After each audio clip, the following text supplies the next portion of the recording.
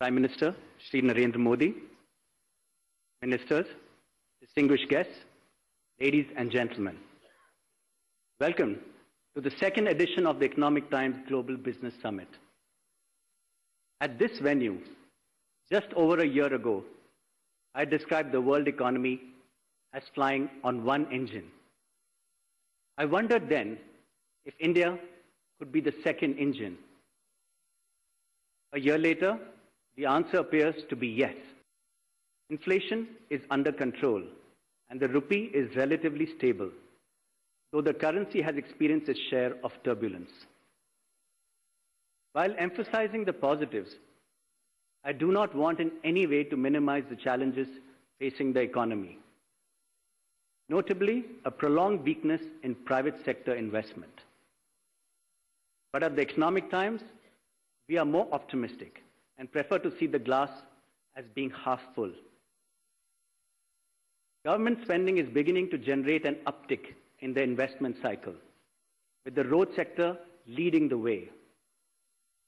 Power sector reform and the cleaning of the coal sector are expected to be big investment drivers going ahead. The railways and defense sectors undergoing a similar cleanup could also generate investment on the scale India needs. The financial inclusion drive has moved beyond the opening of bank accounts to the delivery of affordable financial services.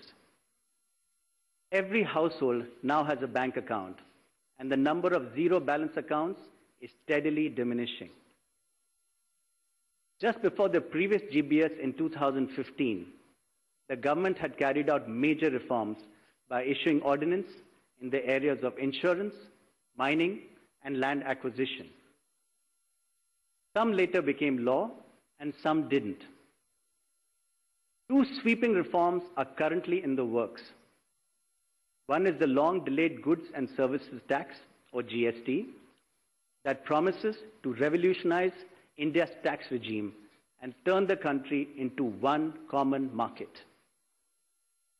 We hope a political consensus can be arrived at quickly so that there is no further delay in its implementation. India also needs a bankruptcy legislation that's in Parliament to be passed as soon as possible into law.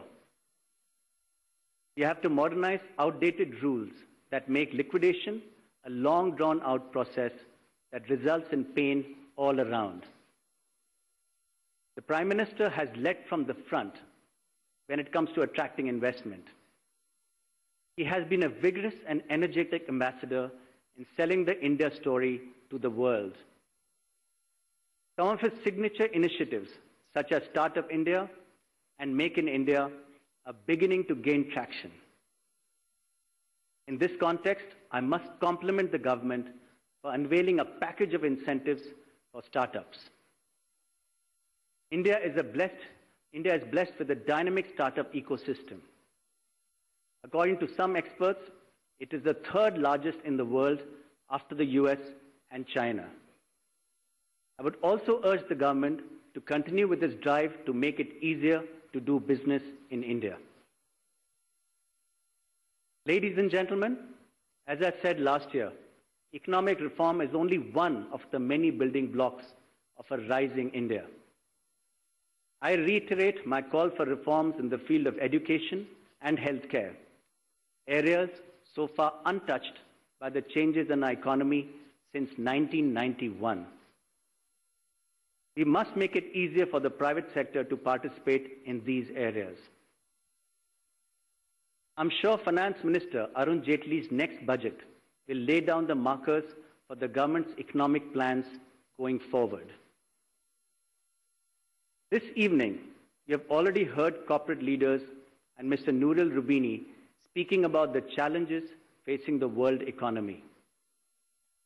Over the next two days, I'm sure our distinguished participants, including CEOs, ministers, and foreign dignitaries, will debate many aspects of the Indian economy and engage with events unfolding on the global stage. Thank you.